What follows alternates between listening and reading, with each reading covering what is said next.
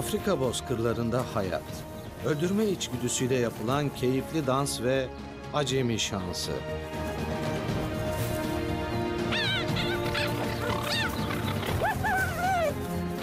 Genç bir çita ilk yavrularını korumak için her şeyini riske atıyor. Yeni nesli büyütmek için olağanüstü zorluklarla mücadele ediyor.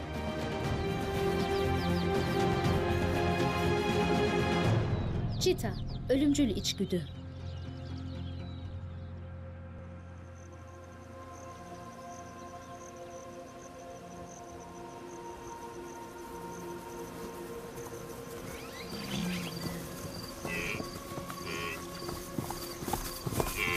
Ömründe ilk kez tek başına kalan bu genç çita hayatının en zorlu yıllarına başlıyor.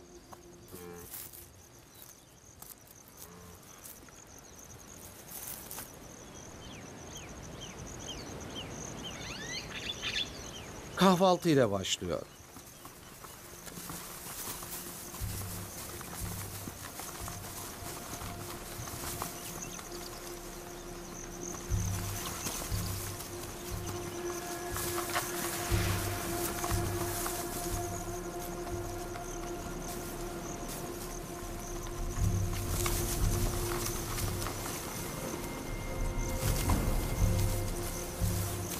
Dünyanın en hızlı memelisi hızını çok daha uzun süre koruyabilen bir ceylanı kovaladığında gizlilik önemlidir.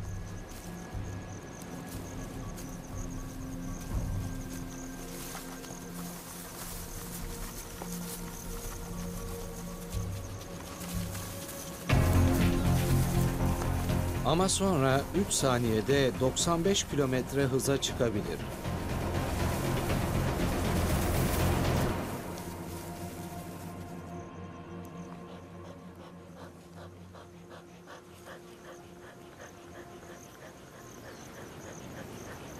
O gizlenmeye çalışırken bu üç erkek ilgi çekmeye çalışıyor. İdrar kokusu diğer yabancı erkekler için bir uyarı.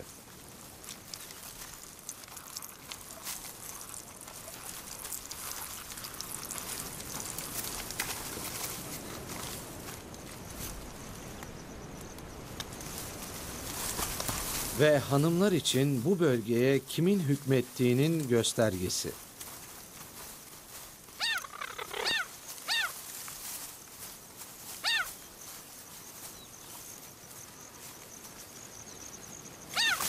Genç dişi şehvetli çita kardeşlere havasında olmadığını söylüyor. Kokuyu aldıktan sonra vazgeçiyorlar. Bu dişi havasında değil. Şu anda hamile. Yaklaşık 3 ay sonra ilk kez anne olacak. Becerikli avcılar için antilopların göçü fırsat anlamına gelmektedir.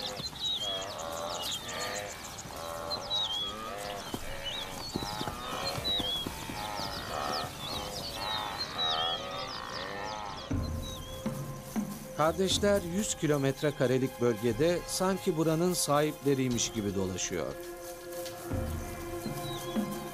Birlikte avlanmak yalnız ve hamile dişinin sahip olmadığı avantajı onlara sağlıyor.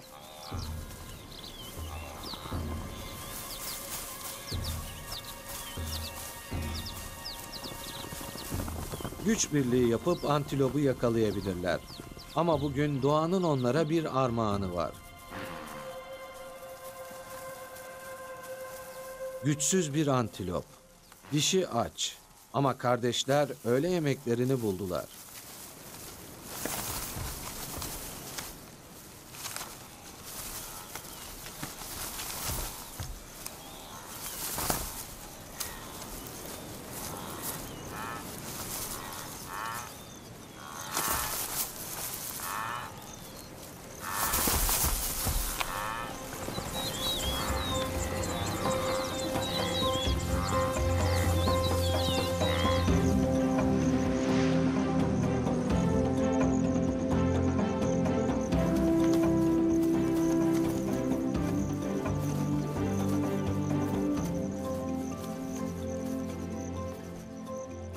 Hamileliği ilerliyor ve onu yavaşlatıyor. Üstelik yemeğe en çok ihtiyaç duyduğu dönemde.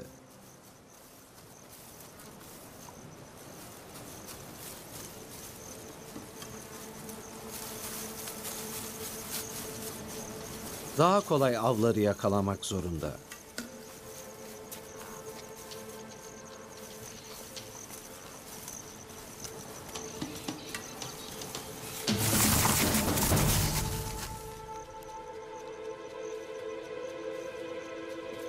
Bir gün daha geceye döndü ve karnı yine aç. Yakında umutsuzluğa kapılacak.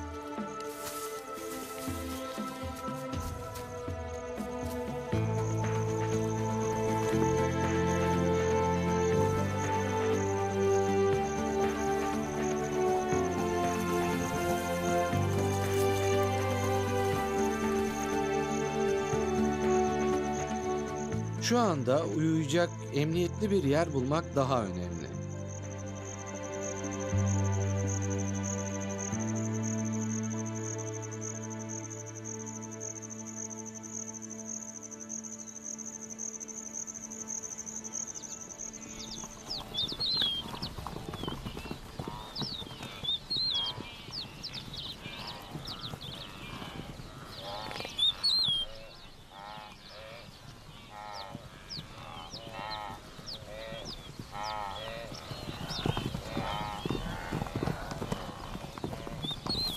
Bozkır günün serin saatlerinde daha hareketli.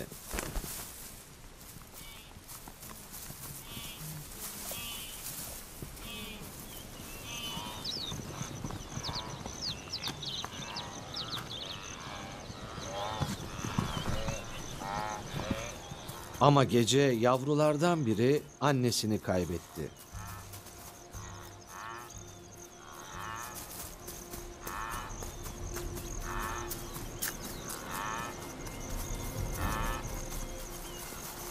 Ve yırtıcı bir üvey anneyle karşılaştı.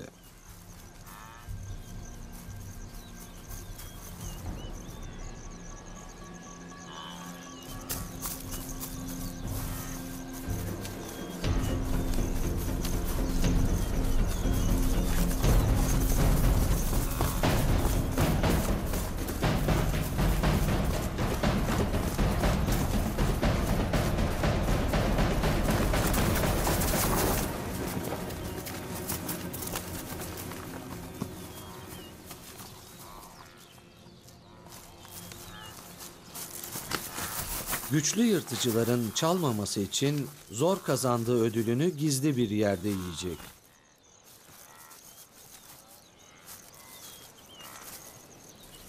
Yakınındaysa çok daha deneyimli bir anne çita kısa bir molayı hak ediyor. Altı yavrusu yüzünden sürekli av peşinde koşmak zorunda.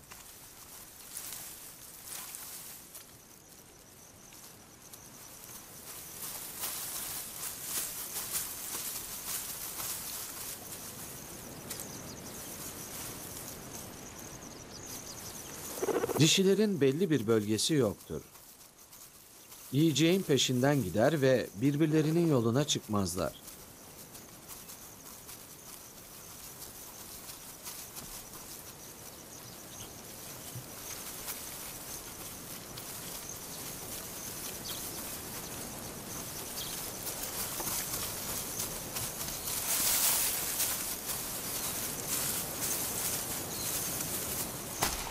Eğer her şey yolunda giderse genç dişi yakında kendi yavrularına bakacak.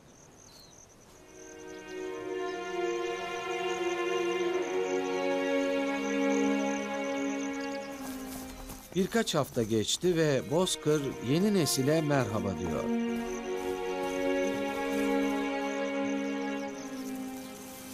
Yeni anne dört sağlıklı yavru dünyaya getirdi.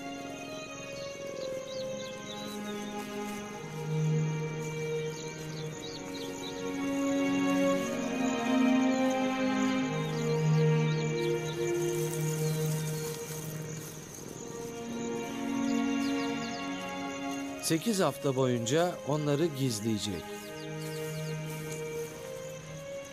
Şu anda yalnızca emecek ve annelerinin diliyle temizlenecekler. Sığınaktaki yaşam bundan daha kolay olamazdı.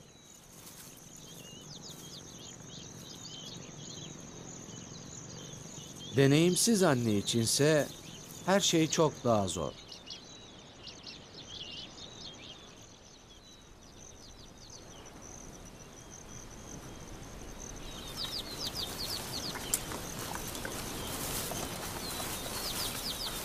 Doğum sonrası anne çita yavrularını çok uzun süre savunmasız bırakamaz.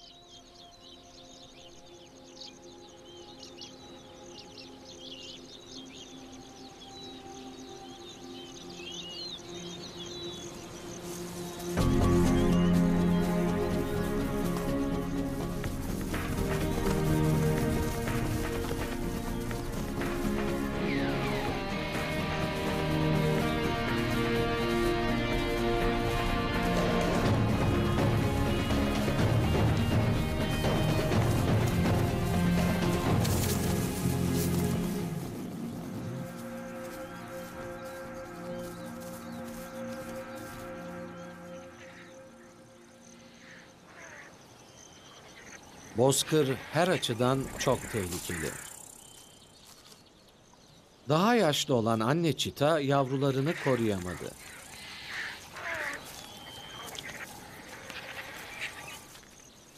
Yavrularının yarısını ve güveninin tamamını kaybetti.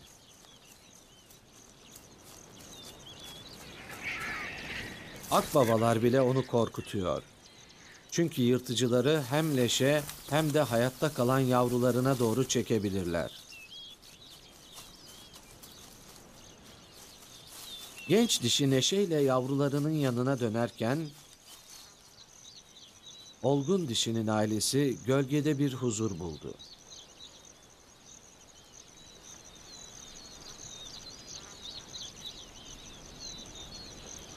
Fakat her iki anneyi de tatsız bir sürpriz bekliyor.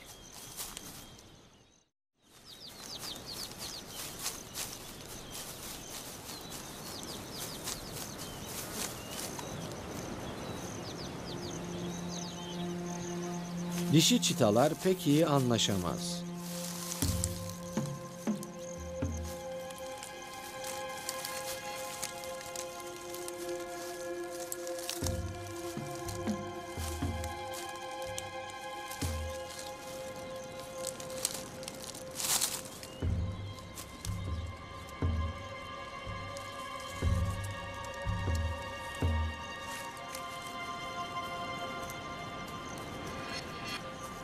Kavga ölümcül olabilir.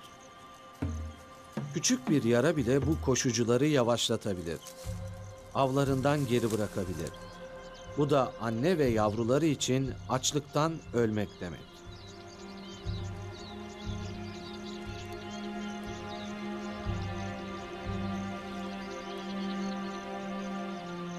Her şey bir sonraki adıma bağlı.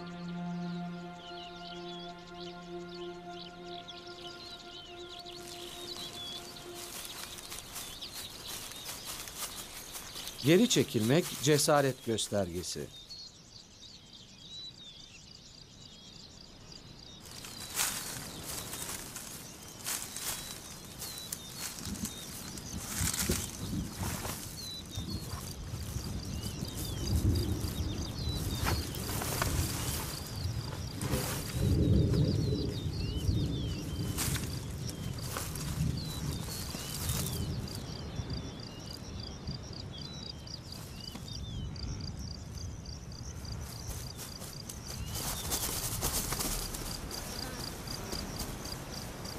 Dişi aslanlarda ise durum daha farklı.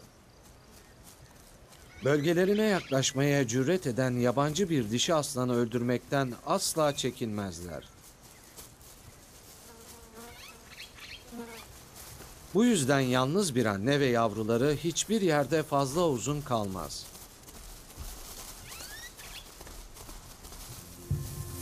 Erkekler yalnız dişileri çiftleşme fırsatı olarak görür.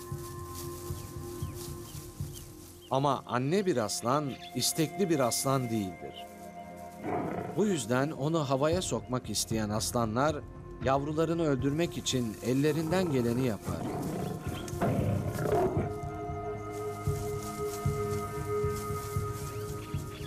Dişi aslansa onları durdurmak için elinden geleni yapar.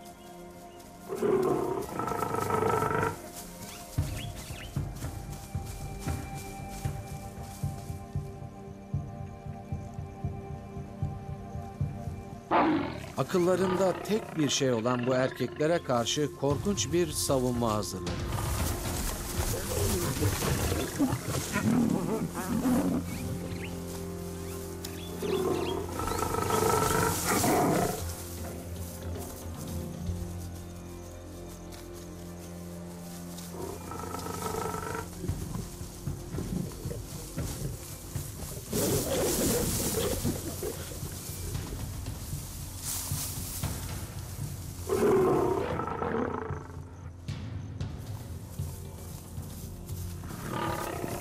Etrafı sarıldı.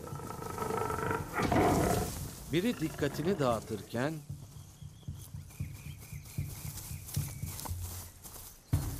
diğeri kaçmayı başardı.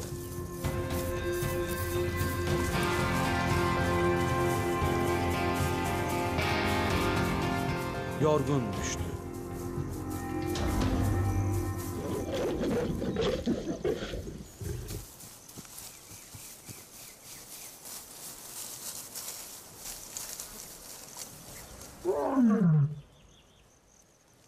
Her şey bitti.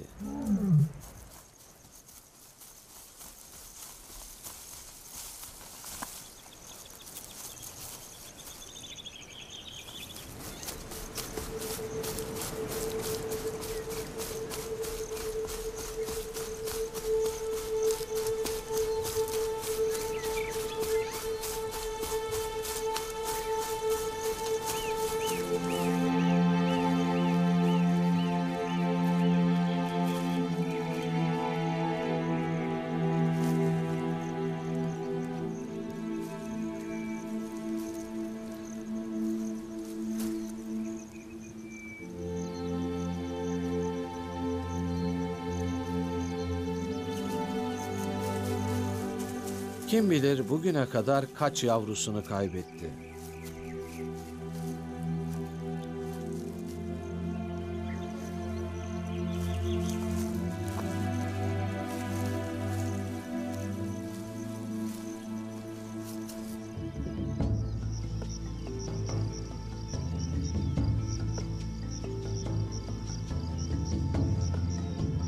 Kasım ayı. Yağmur her zamankinden fazla yağıyor. Genç anne çita bunu avantaja dönüştürdü. Avına yaklaşmak için şiddetli yağmuru kullandı.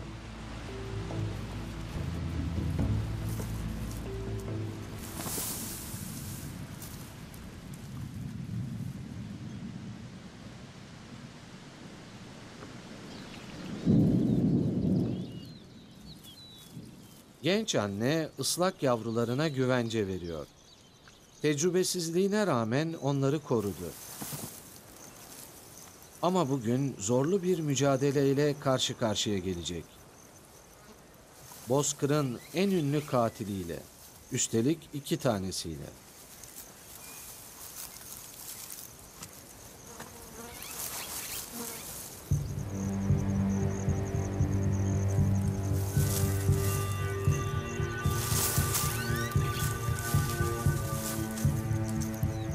Aslanlar genç anne çitayı fark ettiler. Yavrularını bulmalarına izin veremez. Hepsini kaybedebilir.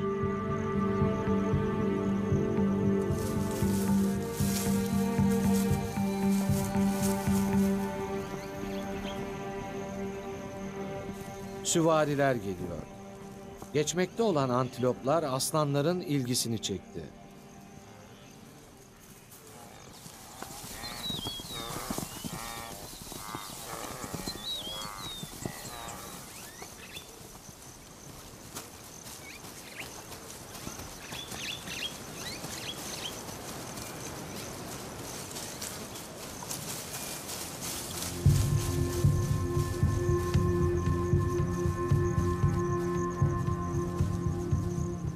İki tanesi sürüden ayrıldı ve antiloplara yöneldi.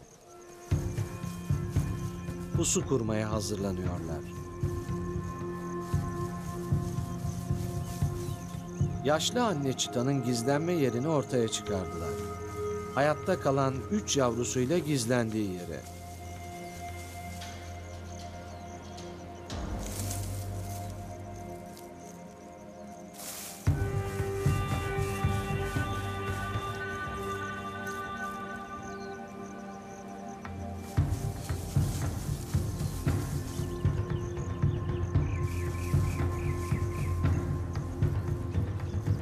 Aslanlar şimdilik yavruları fark etmediler.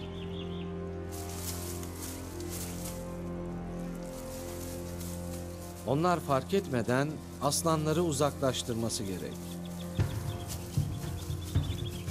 Çok geç. Aslanlar yavruların kokusunu aldı ve antilopları unuttu.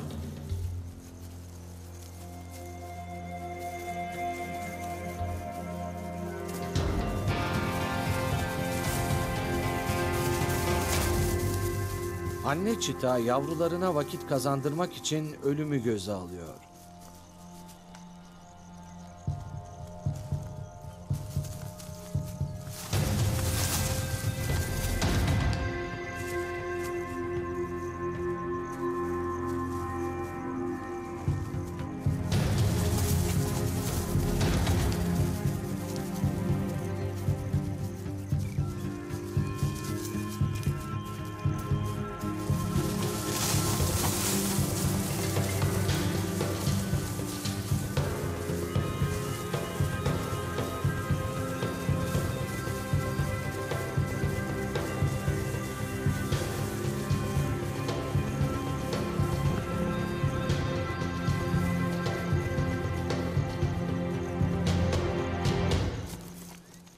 Biri başaramadı.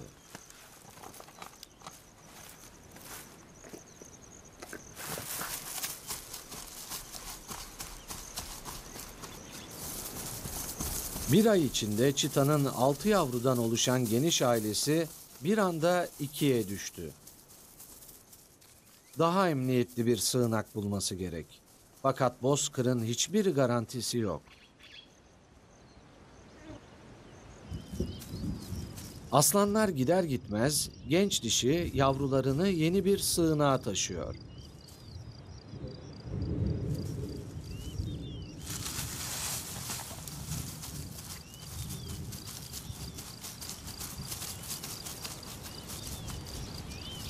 Çimlerin ezilmediği ve çita yavrularının kokularının duyulmadığı bir yere.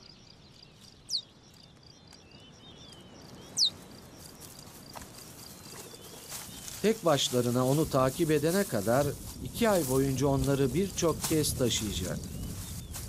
Her taşınmada fark edilebilirler. Fakat uzun süre kalmak da çok riskli.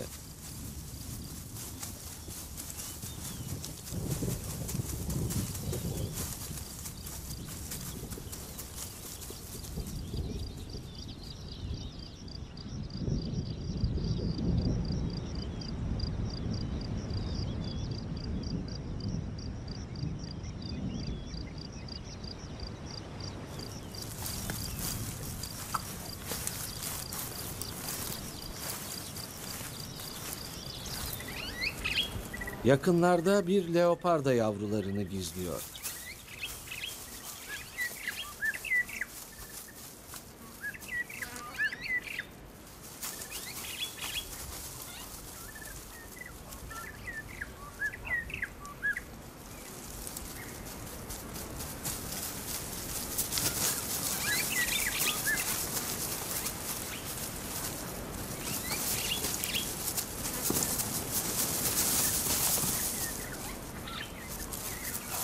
Annelerinden arta kalanları yiyebilecek kadar büyüdüler.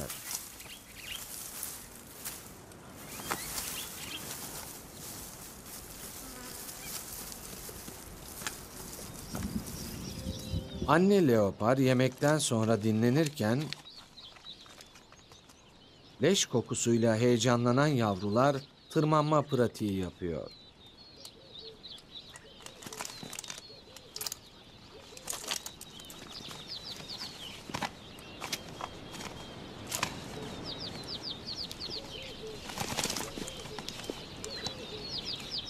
Sesleri belaya davetiye çıkardı.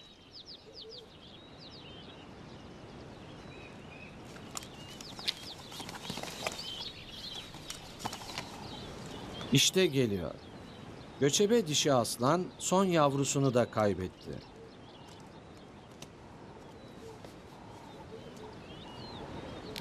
Küçük tırmanışçılar gizlenmeye çalışıyor. Faydası yok. Leş kokusu onları ele verdi bile.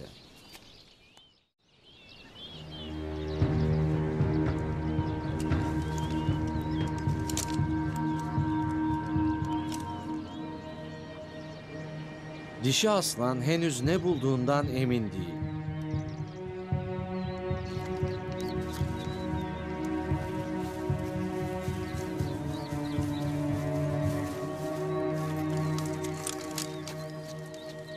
Leopar ve yavruları zaman kazanıyor.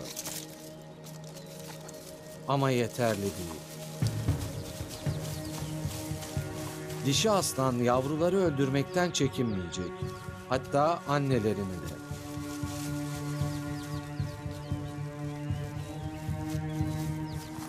Ama bugün değil. Kamuflajları sayesinde ormanda kayboldular.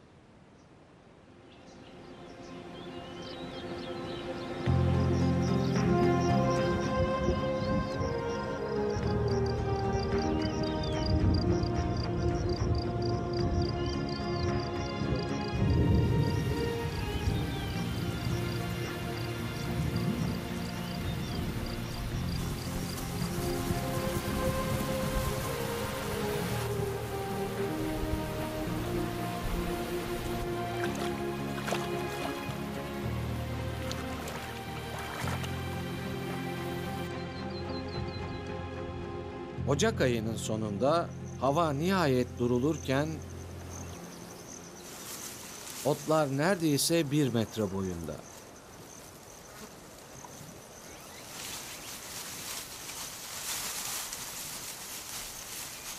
Yenmesi zor olan ve görüşü engelleyen ekinler bazı hayvanları daha kısa bitki örtüsünün olduğu arazilere yönlendiriyor.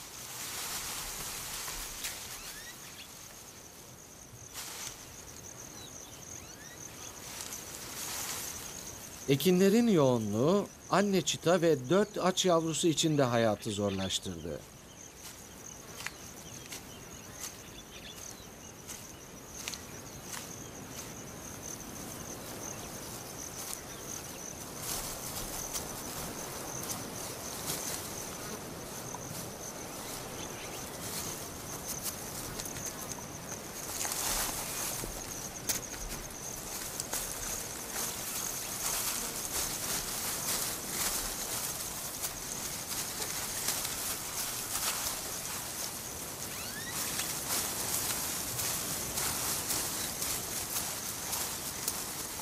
Bu kadar yoğun bir arazide avını görebilmesi için günler geçmesi gerek.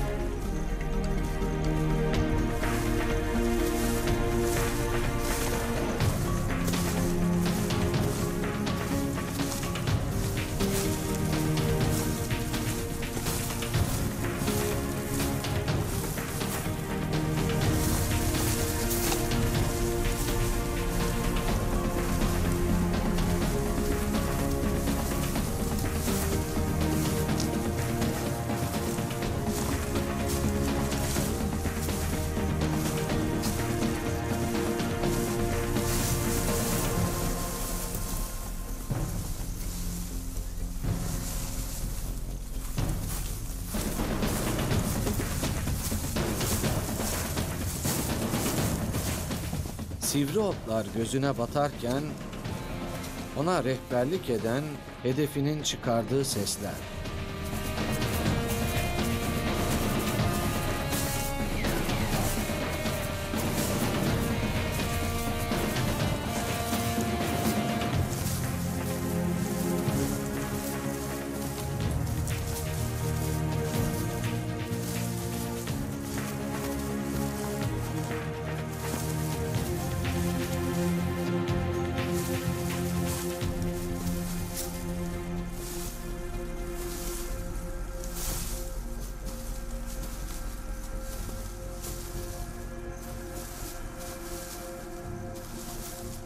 Yorgunluktan bitap düştü. Ve hiçbir kazancı olmadı.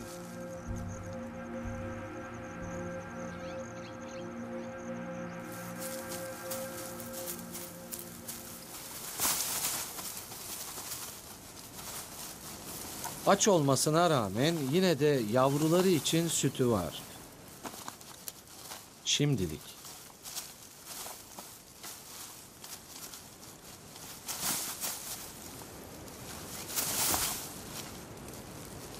Burada kalırlarsa açlıktan ölürler.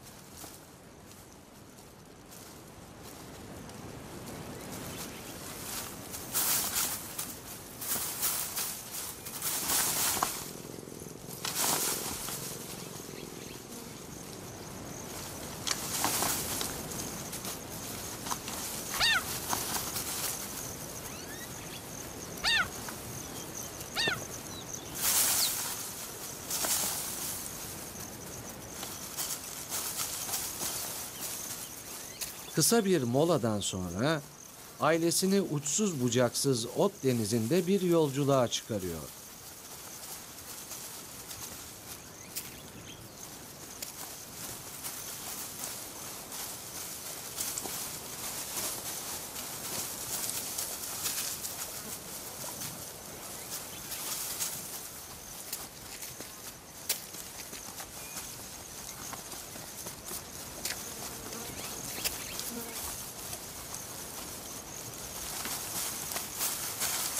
Yavrular maceraya heyecanla başlıyor.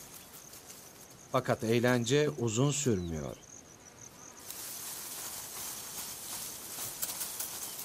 Sadece birkaç kilometre sonra macera zorlu bir yolculuğa dönüşüyor.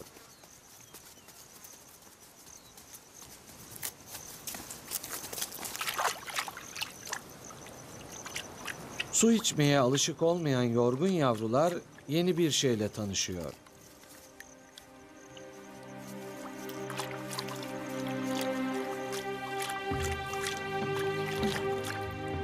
Bozkır'daki hayatın onlar için ayırdığı şeyin tadına ilk kez bakıyorlar.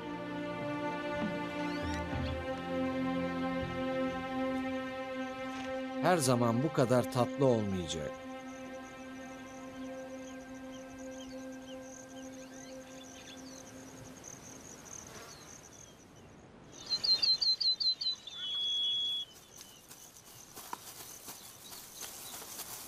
Küçük aile bir ay içinde kuzeye doğru göç etti.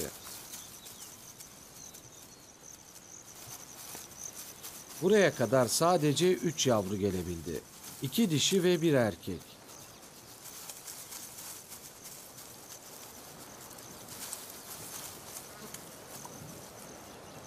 Artık annelerini kolayca takip edebiliyorlar. Fakat anne karınlarını doyurabilmek için her gün avlanmak zorunda.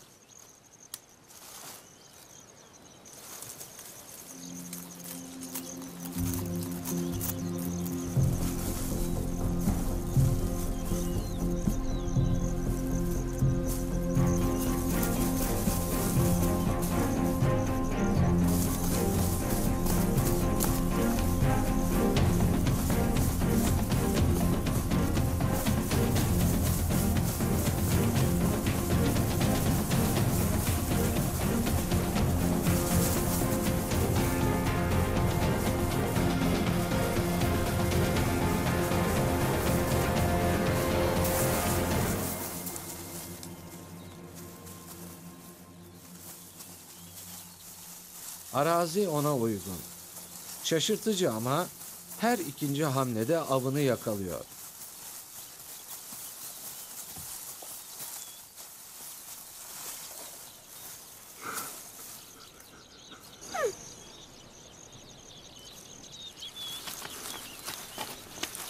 Yavruları büyüyor.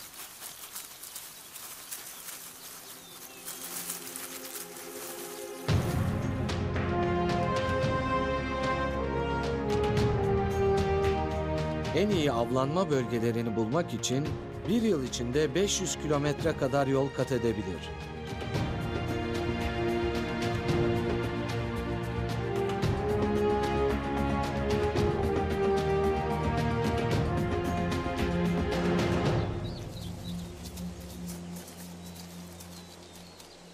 İlk doğum günlerini kutlayan üç yavru bebeklikten çıktılar.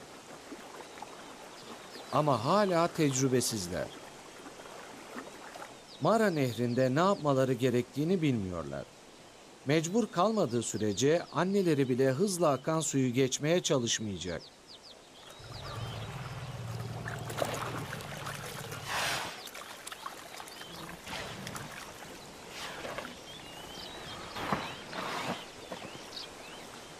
Aile Serengeti'nin kuzeyine ulaşmayı başardı.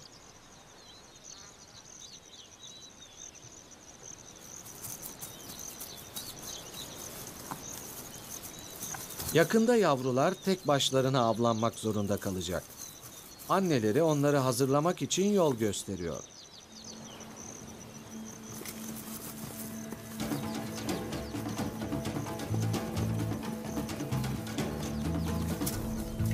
Hala öğrenmeleri gereken birkaç şey var. Özellikle yaban domuzları konusunda.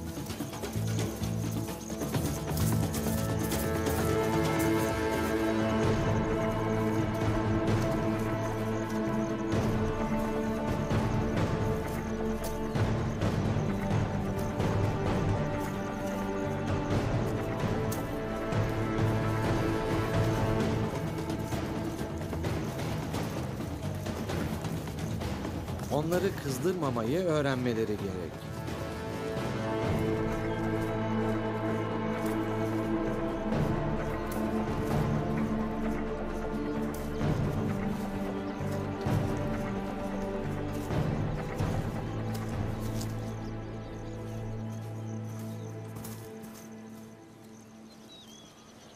Ayrıca rakiplerini asla küçümsememeyi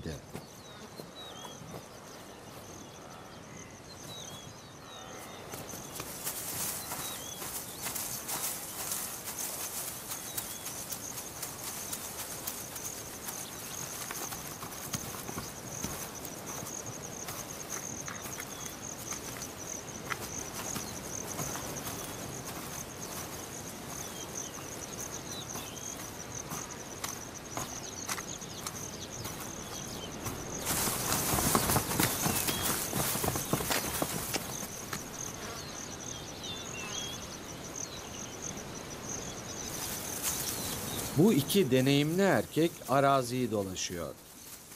Kanatlılara karşı isteklerini nasıl tatmin edebileceklerini iyi biliyorlar.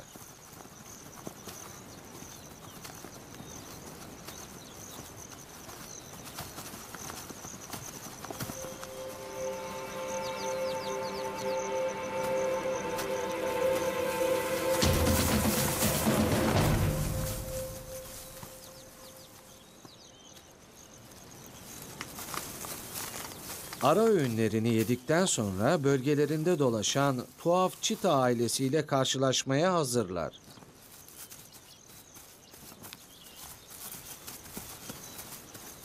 Yabancılar büyük ilgilerini çekiyor.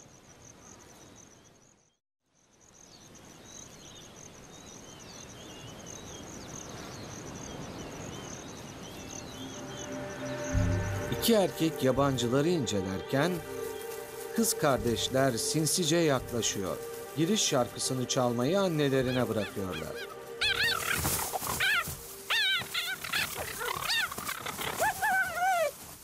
Genç erkeği kovalamak için yeterince beklediler.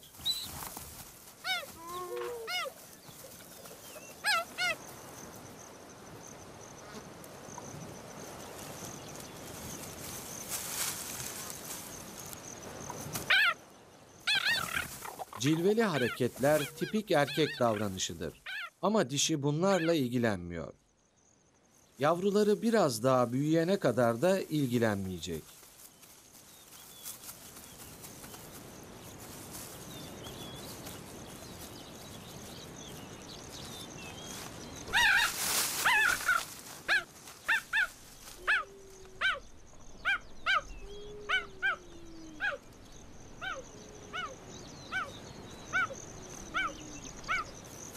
Umdukları şeyi bulamayan iki erkek ailenin gitmesine izin veriyor.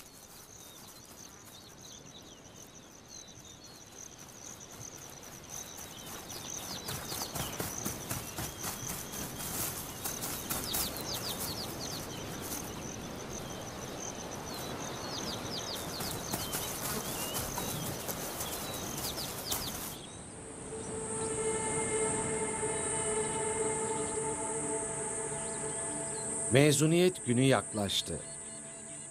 Ama finalleri verebilirlerse.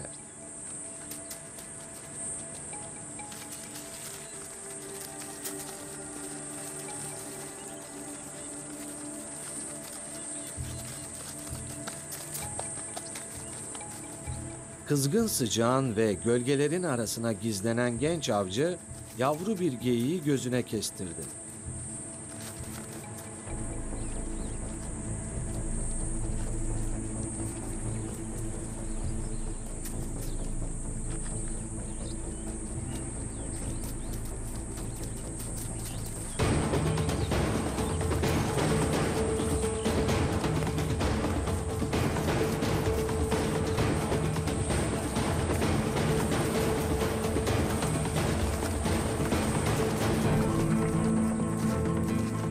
Demir gibi pençeleri ve dümen benzeri kuyruğuyla ani manevralar yapıyor.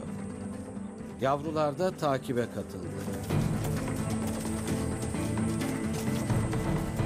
Anne takip ediyor ama müdahalede bulunmuyor.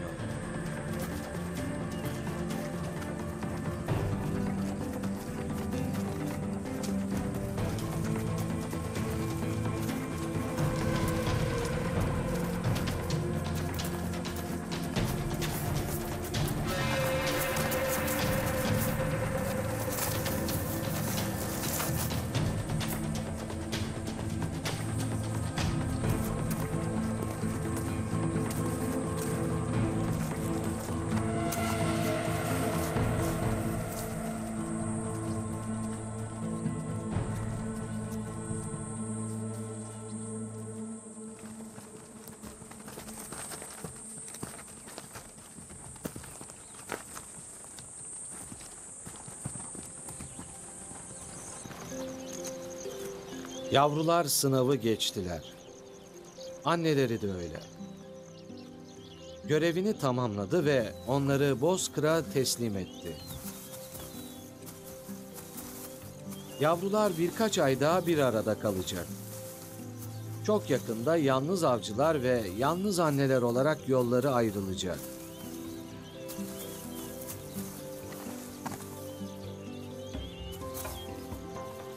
Erkek kardeşleri kendi bölgesini fethetmek için başka bir erkek bulacak.